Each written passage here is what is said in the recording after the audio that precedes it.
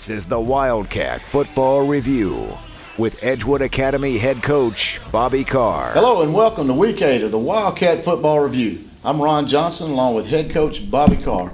As you can see, we got some special guests with us today. The Wildcat coaching staff, thank you guys for joining us to celebrate Coach Carr's 200th career victory. Coach, congratulations, 65 wins in a row, 49 to nothing victory over Macon East Montgomery Academy, but more importantly, your 200th career victory in 20 years of coaching. Coach, that's 10 games per season on average wins over 20 year career. That's a pretty amazing run. Talk a little bit about that run, what it's been like, and how important these coaches are to your success. Well, first of all, it seems like just yesterday that Coach Bucky and I started coaching. I can remember the first win we got. We started the season 0 and 3, and the fourth game of the year we got our first win. And it's just uh, I've been I've been blessed as a head coach over 20 years. Uh, you know, I heard David Shaw, head coach at Stanford, say one time, when you're putting together a coaching staff, uh, loyalty and trust over X's and O's. And uh, these guys here, we all get each other. We all understand one another. Uh, everybody understands their role. We have great chemistry amongst our staff. And I really think that's the reason we've had a lot of the success we've had because the chemistry that we have as coaches trickles down to our players and they feed off of it. They really genuinely care about one another and love one another, as do our coaching staff. And uh, it's just been a blessing, and uh, hopefully we can continue to do great things here. But right now, it's just uh, it's just uh, pretty surreal, and I'm just I'm blessed and honored to be in this situation. Coach, as a tribute to your 200th career victory, we want to introduce each one of the coaches, tell what they do, and let them say a little bit about what it's like here to coach uh, with Coach Carr, what the ride's been like. No better person to start with than the guy that's been with you the 20 year ride, your assistant head coach, Coach Bucky Mansman. Uh, I guess you could say it may have been a roller coaster ride. That would be accurate. Uh, and quite often I've been uh, told I was grandfathered in. I'm the oldest one, and he's called me a little bit of everything. It's uh, we've had our ups and downs as in we do with him. He and I've been together 20 years, and like I told him, at times it's almost like a marriage. We've had some good times, some bad times, some fun times, some sad times.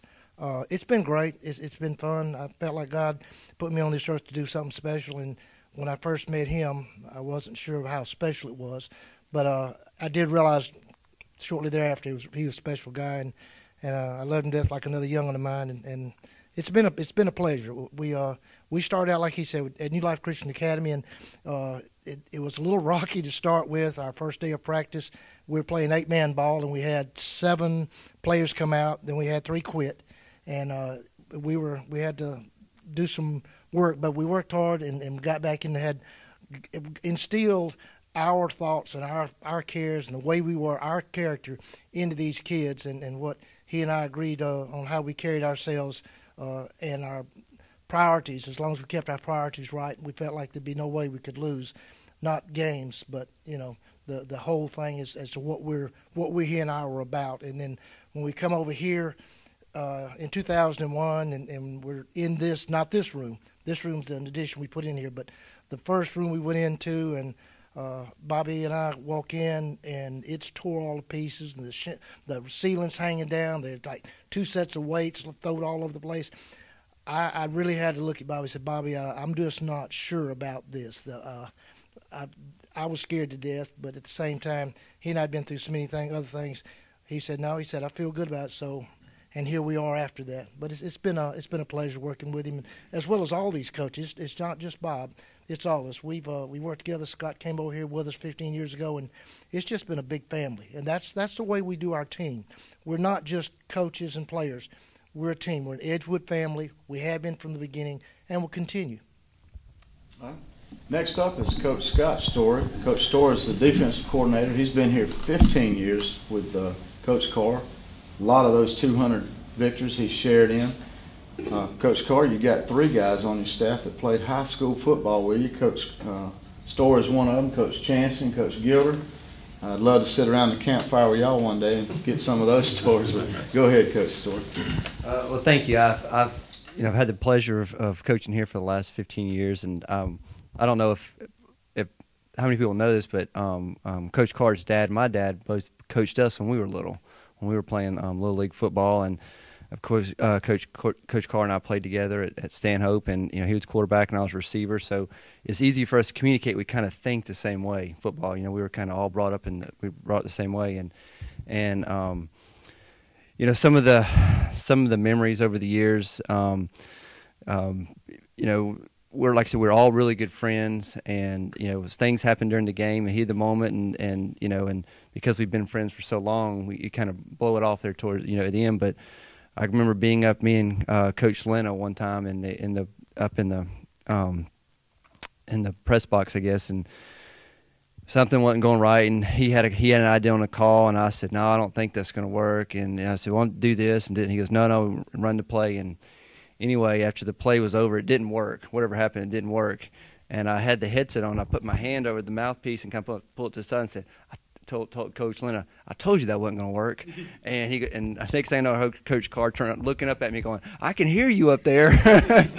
and, uh, so, uh, but you know, that's that's just all part of it. That's why you know, like you know, some of the best times we have is is you know Friday nights after the game. For years, we've been you know a lot of us load up after the game and after the wins and go to and go eat together and um, sit around and tell stories and stuff. And you know, that's that's you know, to me, it's that's almost as fun as, as winning winning the games is the, the camaraderie we have as a coaching staff and stuff. And I think that's that speaks a lot about us and the program. So, yeah. All right, next, Coach uh, Norris. Coach Norris is our strength and conditioning coach. He's also the junior varsity head football coach. coach well, the thing that stands out to me with uh, Coach Carr is you know, 15 years ago we didn't have a termite pee wee team, and uh, Coach Well and I had this idea to try to start that up. And he, when his first year here, he really embraced that and uh, helped us get that going. And it's going strong today. In fact, Coach Roberts played on one of those first teams, and uh, that that group moved on through. And I think that's helped our success here at, at school having that termite pee wee team. And uh, he helped us with that. Was very generous in in ideas and offensive stuff. And, and then when we moved up to JV, um, same thing. We run our JV is done just like our varsity. We do the, we do the same offense, same defense, and uh, the the the offensive mind that that he has is is pretty incredible. You know, we sit on the sideline and he'll say, "Hey, watch this. We're fixing to fixing to run this, and then we're going to score on the next play." You know, how do you know? You know, he, he knows stuff. He sets up stuff, and uh, that's what we do. We run his stuff on, on on our JV, and he gives us ideas. Even yesterday, I was asking him some questions, and he had, you know, I was wondering, what if we do this? What's this guy going to do? And he he he knew immediately. He figured, you know, hey, if they're coached up, this is what he's going to do. So we can adjust to those kind of things, and he helps us a lot on uh, on our offensive side on JV. So uh, like like Scott said though, and Coach Bucky, it's a uh, it's a it's a team effort, and uh, he's very accessible to uh, to us and other ideas and stuff. So we appreciate that. All right, next up is Coach Weldon. Coach Weldon is our offensive line coach and the junior varsity defensive coordinator. Uh, coach Carr, super friend and just a nice guy. Aside from coaching, we've known him a long, long time, and uh, appreciate everything he does.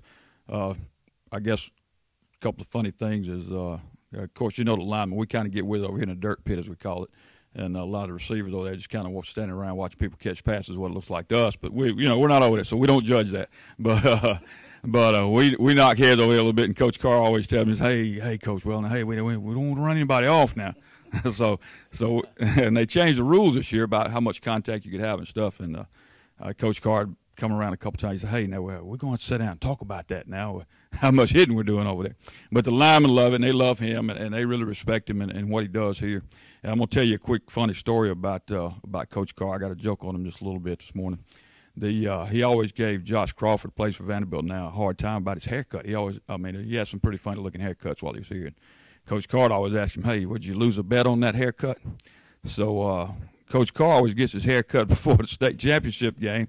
And, uh, I don't know if you've seen Dumb and Dumber with uh, Jim uh, uh, Jim Carrey, but he went and got a haircut. I think it was at Walmart or somewhere down there. And he come back, and Josh Crawford said that night, he said, "Hey, Coach, I think uh, Coach Carr must have lost a bet on that haircut this year."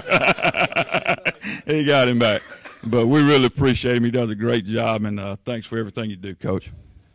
All right, next, Coach Tubbs. Coach Tubbs is the special teams coach and wide receiver, defensive back coach. Um, yeah, first of all, I've only been here four years, uh, but I've known a lot of these guys the whole time. You know, I've been coaching. I was very appreciative when Coach Carr gave me a call and asked me to come, and uh, been very thankful ever since I've been here. I don't know what it's like to lose a, on a Friday night, uh, which is a good thing, and I hope I never ex- have to experience that anymore. Um, but some of the funny things or some of the memorable moments for me in the last four years, I remember uh, the first state championship game uh, that I was a part of. As soon as the game was over, Coach Carr gave me a hug and said, "Hey, welcome to the club." I remember that, and uh, some of the funny moments.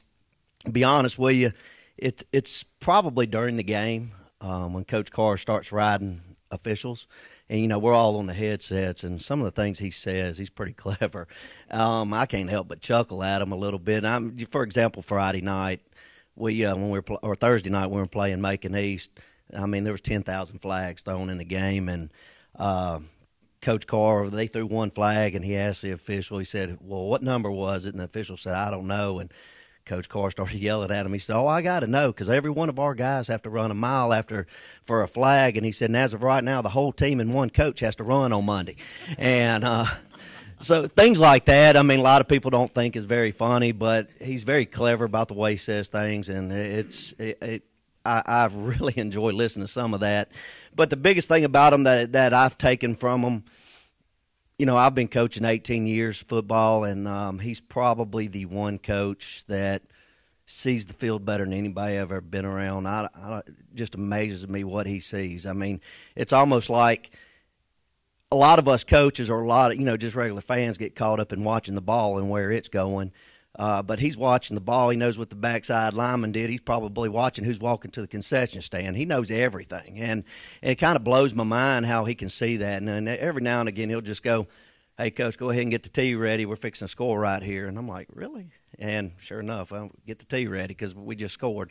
Um, but the other thing I really I, th- I, think is funny about him is he's very impatient, a little bit. Um, he wants to score right now, and he's not going to run that ball all the way down the field. I mean, if it's two or three plays later, he's trying to hit a home run. I mean, it's like I got to score now. I don't have time to sit here and watch this. And I, some of those things are things I remember and uh, that I get a joy out of. And, and you know, it's been a pleasure to coach with him and the rest of these guys. And we usually roast each other quite a bit, and that's usually real fun. So you know, I joke all the time. I got tattoo on my back of uh, tire marks because they always throw me under the bus, but that's all right too.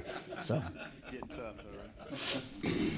All right. Next, Coach Chancey. Coach Chancey is one of the guys that played with Coach Carr in high school, also a former NFL player. He's our running backs coach. Coach. Well, first off, it's uh, it's a pleasure to be a part of this coaching staff.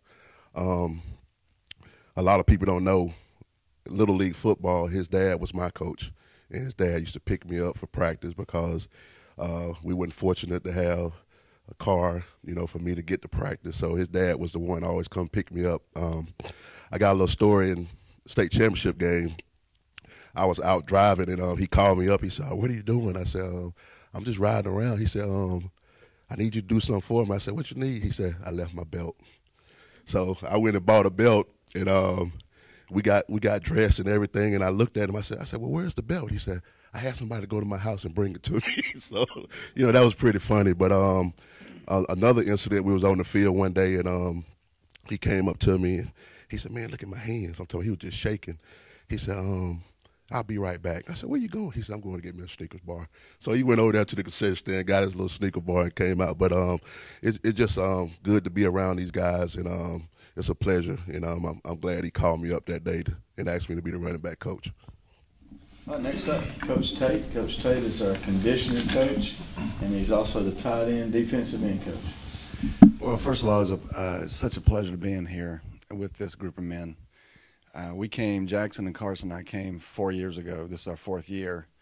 And Coach Carr asked me to help with the Pee Wees, and I did that. And then he asked me to start doing the conditioning, and I did that as well for the varsity. But the unique thing about our team opposed to other places that I've coached or I've been is we get four or five every year, maybe some years more, new kids come in from different schools. And you'll see they're kind of cliquish when they first get here and get kind of standoffish for the first couple of weeks. But it will warm your heart to see after the season starts. These kids hug on each other, love on each other, tell them they love each other. They go out of the way to take care of each other. And that's why we've been successful. Besides the athletes, Coach Carr has figured out how to bring essentially strangers into the family and accept them. And that's how they are. They're accepted as family. And if you do, and if you do what you're supposed to do, and keep the team rules, and you love on everybody, you, we're going to be successful. And I think that's what Coach Carr is not only with his uh, brilliant offensive mind, but he's assembled a, a coaching staff that all I can honestly, I've been here four years and I've never heard anybody argue. I've never heard anybody fuss because we all know this is, we're all in this together. We're one family. We love each other. And it doesn't matter what's, what happens when we go outside that door or when we stay in here. We're all going to handle it as a team. And I'd really appreciate y'all letting me be part of it. All right, next is Coach Gilder, another one of the lifelong friends, played ball in high school with Coach. Uh, he coaches our wide receivers, defensive backs. He also takes the signals from Coach Story in the booth, signals them in to the defensive guys on the field. Coach. Thank you, sir. First off, I want to thank Coach Carr for being a friend for the past 30 years. It's been a long, fun road that we've uh, we've uh, traveled over the last 30 years. But you know, I wanted to coach at Edgewood probably eight years ago. But my daughter, she was a cheerleader at Stanhope, our high school alma, alma mater, and I said, Coach, I can't get there, man. Every Friday night I need to be with her. She won't allow me to be there. But she graduated and she said, Dad, you can go coach with Uncle Bobby.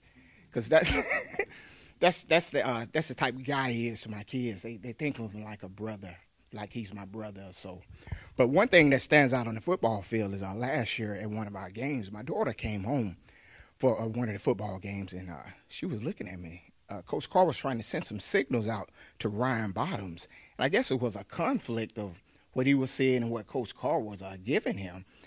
And uh, my daughter said after the game, she said, "Dad, Uncle Bobby looked like he was dancing on the field like that." I was like, I said, "Baby, I don't think he was dancing because I don't think he can dance, you know." But uh, but uh, that's just that's just the type of guy he is. And these coaches, you know, I, I think them. I go to work every day, and I look forward to the afternoons of getting over to Edgewood to get out there with these young men. Thanks a lot, Coach. All right, next is Coach Roberts. Uh, coach Roberts, assistant offensive line coach and the scout team coach. Well, thank you. Um, I just want to say thank you to Coach Carr and the rest of these coaches for bringing me in with the staff three years ago, and uh, it's been a real pleasure to work with them. And it's it's a little different coming from a player. It was weird at first, you know, but uh, I really enjoy it. I really enjoy the mentoring side of coaching and teaching players. It's really a joy to me. And uh, I just want to thank everybody for bringing me in, and uh, thank you guys. All right, next, Coach Fisher. He's a junior varsity wide receiver, defensive back coach. Uh, yeah, I, I, also want to thank Coach Carr. I called him last spring. I'm doing my internship here at Edgewood, and said, Coach, you know, I coach basketball and football, and he said, Well, come see me. And we missed each other a couple of times, and he said, "Well, we've had a baseball camp. Just you know, come on up here." And that day, I mean, I felt like I was at home. Um, come in over the summer and met all the coaches, and everybody said it, it feels like a family. And I've only been here a short time, and I feel like it's it is a family. Thank you again, Coach. All right, Coach. Congratulations again on 200 career victories. Give you some final words to say to your coaches, and maybe share with us what the next 20 years is going to look like. Share with us some goals, maybe some things you'd like to accomplish. Coach. I don't know if I can think that far ahead. uh, I, I just want to thank from the bottom of my heart. Number one, as a dad that has a kid playing, and I'm speaking for all of our parents. Thank you guys for making sacrifices to be here with our players. And uh, you know, coaching is uh, being a high school coach. I've said this a number of times. We're the greatest role models in the world. Uh, these kids look up to us more than they do anyone, and we get an opportunity to have an impact on their life and uh, I, I mean, I see people today. My dad coached little league football, and I see people today when we're out together somewhere, and they'll say, "Hey, Coach Carr," and I'll say, "Hey, Coach." He said, they'll say, "No, not you. I'm talking to your dad." And you know, and it's unbelievable. It's humbling to think about the impact that we have on these kids. And I just want to tell you guys, I appreciate and I love each one of you guys. And let's let's continue to do great things. Also, want to, you know, uh, also it's a sacrifice too for your uh, wives and, and, you know I know you're spending time away from home and and uh, it takes a special woman to be married to a coach. And I just want to say thanks to to your wives and and uh, maybe uh, maybe uh, they'll continue to support us and, and, and so forth. And I just, it's just, uh, I'm at a loss of words because these guys are my family. You know, uh, this, this team, this coaching staff. The end of the year for me every year is kind of bittersweet because it's almost like the season's over and everybody's going home to their families. The next week's off. We're off Thanksgiving and and uh, you know this uh, football is just extremely special in a number of ways to me. And uh, I, I just, just, again, I thank you guys from the bottom of my heart. All right, coaches, thank y'all again for joining us, celebrating this 200th career victory. Hope there's 200 more, and it doesn't take 20 years this time. Let's do it in 10, coaches. All right, this week the game will be at the Edgewood campus. It is senior night. We got eight seniors on our team. Come out and be with us. Let's honor these guys, send them off with a bang. Uh, the game will start at 7 o'clock.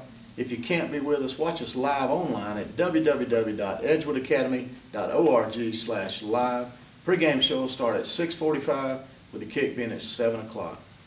Thanks again, coaches. For Coach Bobby Carr, I'm Ron Johnson saying thank you for watching the Wildcat Football Review.